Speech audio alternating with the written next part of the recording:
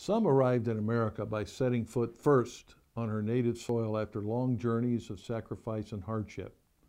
I came to America on the fifth day of July to young expectant parents in a small town called Olney in southeastern Illinois.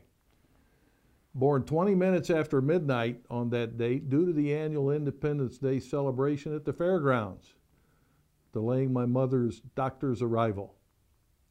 Olney is still a very special town known for friendly working people, American values, surrounded by a large number of white squirrels which roam the landscape fully protected by the townsfolk. Even as a fourth grader there, I learned to proudly salute the flag with my classmates as it passed by in parades along the city's main street. I personally experienced Olney's love of country love of values and ideals in many other places where our family lived, including California, Arkansas, Missouri, and Florida. I am truly proud to be a son of this great nation. I value the freedom and liberty which have been made possible by the sacrifices and commitments of our founders and fellow citizens. During this present time, as various voices apologize for the greatness of this country, this beacon of the world's hope. I'd like to challenge you and all Americans. Let us proudly proclaim America's achievements at home and abroad. Ours is a great and compassionate nation, the light of the world. We need a reaffirmation of American greatness. Through emphasizing the Constitution in which we believe, through remembering the freedoms in which we share, and through the vision that we have chosen to pursue. I am most grateful for and proud of the Constitution in which we believe. Some 55 individuals were involved in framing this great document at that first Constitutional Convention.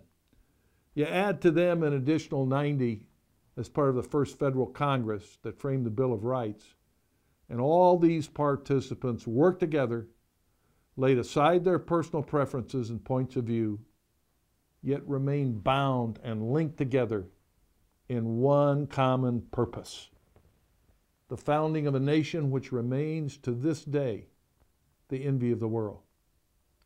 Young Thomas Jefferson summarized the whole event when he said, We hold these truths to be self evident that all men are created equal, that they are endowed by their Creator with certain unalienable rights, that among these are life, liberty, and the pursuit of happiness. And that to secure these rights, governments are instituted among men and women, deriving their just powers from the consent of the governed. And whenever any form of government becomes destructive of these ends, it is the right of the people to alter or abolish it. I remain a son of this great land. You also are citizens of this great nation. We're still the children of our founders. Speaking on an economic Bill of Rights, President Reagan spoke eloquently when in 1987 he reminded us that this republic was a revolutionary idea of representative government and individual rights as well as the cause of independence, to which the Declaration signers pledged their lives, their fortunes, and their sacred honor.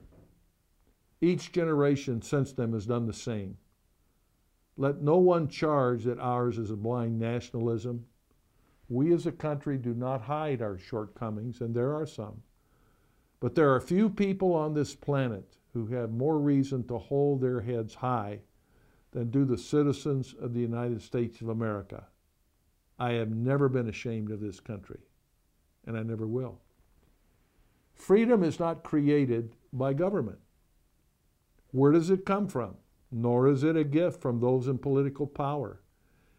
It is, in fact, secured by limitations that are placed on those in government. Freedom is the absence of a government censor looking at our newspapers, our media outlets, and our universities. It is the lack of fear by those who gather in religious services to worship or those who run their company to make the nation's product. It is the absence of official abuse of those who speak up against the policies of their government. I must ask, as did other years ago, where did these people come from? Where did we find such people? Well, they came from not the rank of ranks of the elected politicians. The experience our founders brought to their task came from work on the farms, work in the fields, work in the offices, work in the villages, defending their right to liberty and the values which have served to lead the world. They came from the working people, many of them of this great land. E pluribus unum, out of many, one. Just working Americans, busy with their jobs, unable to position themselves daily in Washington, D.C., outside the doors of Congress, and the White House to represent their interest as paid lobbyists with endless streams of dollars targeted often on behalf of large special interests.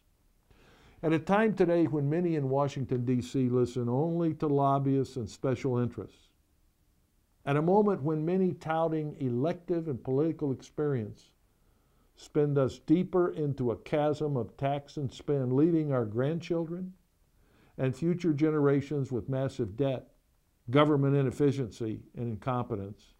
It's time for us all to revisit our founders' thoughts. In the words of young Thomas Jefferson, he wanted just one amendment to the Constitution, and it read like this I would be willing to depend on that alone for the reduction of the administration of our government to the genuine principles of its Constitution I would like an additional article taking from the federal government the power of borrowing. So I am proud of our Constitution. I'm also proud of the freedoms we share.